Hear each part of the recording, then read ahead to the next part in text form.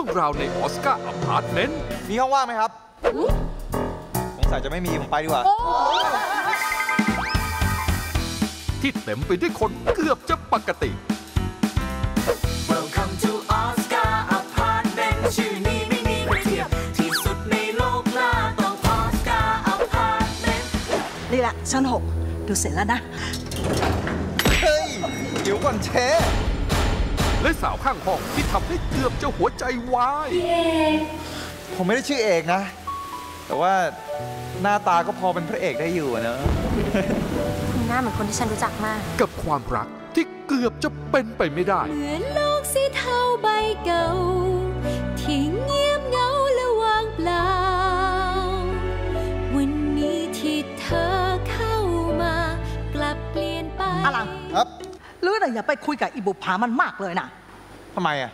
ก็อีบุผามังตามังตาโตตาสวยตาสวยพบกับความฮา Apartment ชื่อนี้ไม่มีใครสยองที่สุดในโลกล่าต้อง Oscar ขนหัวลุก Come on come on เข้ามาพร้อมขนหัวเราะกลับบ้าน ละครเวทีบุปผาราตรีเกือบจะมิวสิคัล20 ตุลาคมถึง 11 พฤศจิกายนนี้ ซื้อบัตรได้แล้ววันนี้ที่ไทยทิกเก็ตเมเจอร์